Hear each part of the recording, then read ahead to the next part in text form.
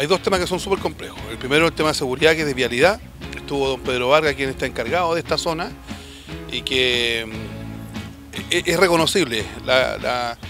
los vehículos que pasan hoy día eh, no son los mismos que pasaban hace 30 años atrás, sin embargo el pueblo sigue siendo el mismo pueblo, por lo tanto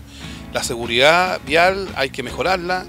eh, hay mucho más gente, hay segundas viviendas, el camino sigue siendo el mismo, por lo tanto está sobresaturado el camino de vehículos y eso produce una inseguridad para los adultos mayores, para los vecinos. Junto con ello visitamos la sede, nosotros cuando recién asumimos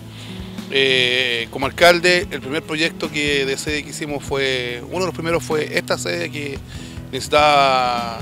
San Ramón y hoy día han pasado ya 10 años y la sede obviamente está quedando chica, así que también hay un compromiso parte mía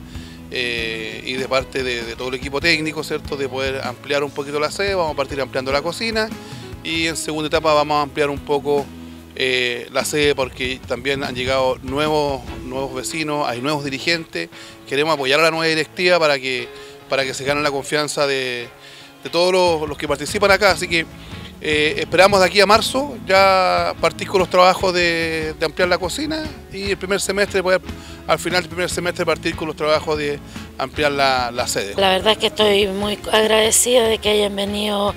eh, las autoridades, en primer lugar el señor alcalde, eh, porque la prioridad nuestra era el tema de agua, los cortafuegos por el tema de incendios, que hoy día están al día a día.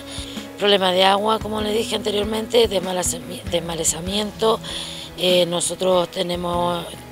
un proyecto de la cocina hace bastantes años y creo que hoy día ya va a quedar concreto. Eh, digamos, ya nos dio la posibilidad de que dentro de los, primeros tres meses se va a efectuar el tema de la cocina, el tema de la electricidad, los caminos, vino el señor de, de Vialidad, don Pedro Vargas, también para solucionar el tema de la carretera que quedaron muchos pendientes.